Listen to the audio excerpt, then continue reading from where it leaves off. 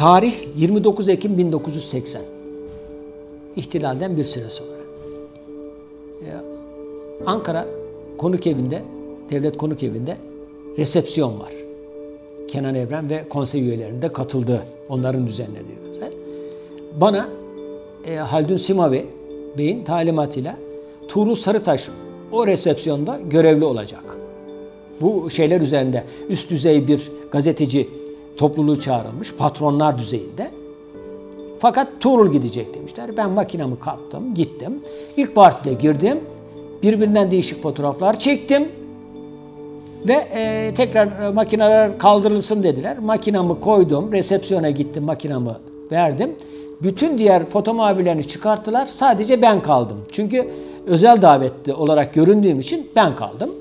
Neyse etrafına o dönemin ünlü yazarları, sözüm ona bazılarının isimlerini de vermeyeceğim o kişilerin.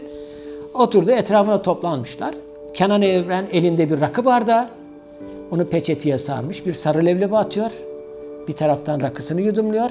Etrafındaki yazar arkadaşlarımıza döndü sordu. Bugün o Günaydın gazetesindeki şey beni çok üzdü. Efendim haklısınız. Çok küçücük kullanılmış. Allah Allah. Ne küçücük kullanılmış. Ben de sinirden böyle bakıyorum. Arkada da tam arkasında da özel kalem müdürü. Onun da ismini vermeyeyim. Duruyor. Bana böyle böyle yapıyor.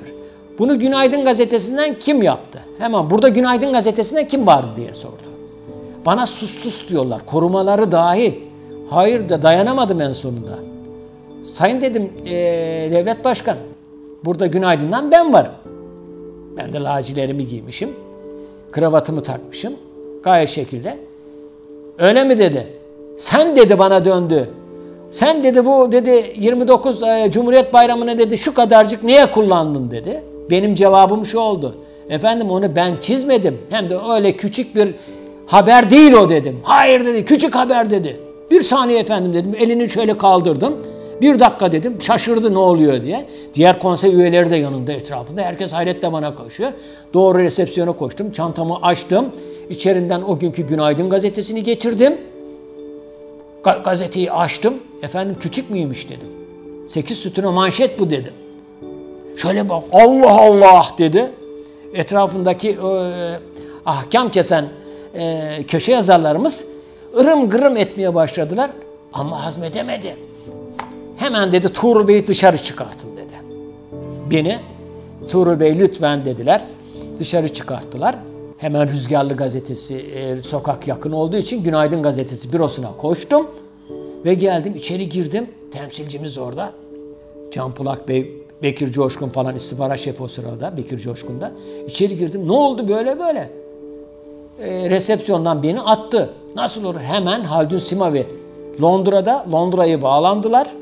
Bana Haldun Bey sordu. Ne oldu Tuğrul? Böyle böyle. Ha öyle mi? Efendim dedim bu arada bu gazeteyi kapayabilirler. Evladım sen aldırma boş ver keyfine bak. Teşekkür ederim oğlum dedi. Kapattı. Neyse oturuyoruz. Biz bütün filmleri karşıya geçtik. Ertesi gün sayfamız hazırlanacak. Bekletiyoruz baskıyı.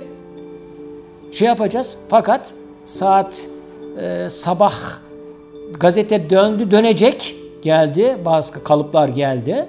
Döndü dönecek bir jip durdu. Gazetenin önünde. İkinci kattan görüyoruz. Bürolar öyleydi. Hiç unutmuyorum. Bir yüzbaşı, arkasında bir er, bir at subayla içeri girdiler. Buranın yetkilisi kim diye assubay sordu. E, yüzbaşı. Dedi Can Bulak Bey benim temsilci. Dedi buyurun. Bugünden itibaren Günaydın gazetesi kapattık. Ve şok olduk hepimiz aynı anda. Hakikaten de Günaydın gazetesi kapatıldı bir ay. İşte unutamayacağım. O kadar da üzüldüm ki sanki gazeteyi ben kapatmış gibi oldum.